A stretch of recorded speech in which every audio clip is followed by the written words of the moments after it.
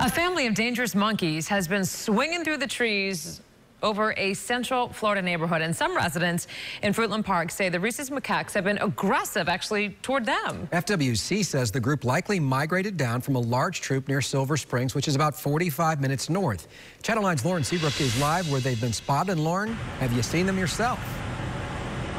Well, Greg, it's easy to see where they've been. The woman who lives right here tells us that they, she sees them all the way up there in the treetops, and then they come down to rob her orange tree. She says this whole area used to be full of branches. You can see there's now a large gap where the monkeys have been running up. Some, she says, will pluck the fruit right off the trees. Others will actually shake the branches until those oranges fall down to the ground.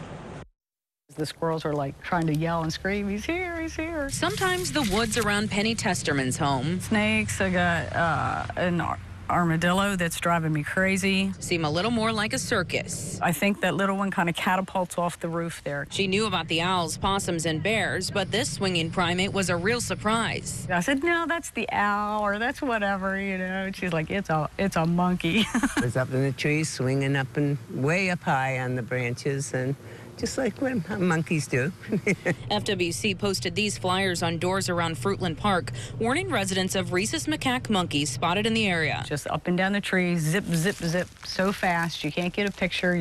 Neighbors who were able to snap these photos believe there are three, a mama monkey, a daddy, and their baby. Sophia Mowry saw one of them peeping into Penny's porch. Looking through the window and like a little uh, child would look back and forth, see who's in there. State wildlife agents say it's best to stay back because macaques are very strong and will attack. That monkey showed aggression to a neighbor who got a little too close. Penny had an interaction of a different kind when she was unknowingly underneath another. I heard this water dripping down and I looked up and I saw this tail and he was actually, yeah, he was actually peeing down. And residents are telling us right now they actually saw the monkey just right down the road. So as soon as we get done here, we're going to walk down there and see if we can find it. Trappers are out here looking as well to see if they can catch them. Over on my Facebook page, I posted a ton of information about some of the diseases these monkeys can carry, what to do if you see one, and why you shouldn't try to take a picture of them or even look them in the eye. Go to my Facebook page right now and you can read all about it. Reporting live in Fruitland Park, Lauren Seabrook, Channel 9 Eyewitness News.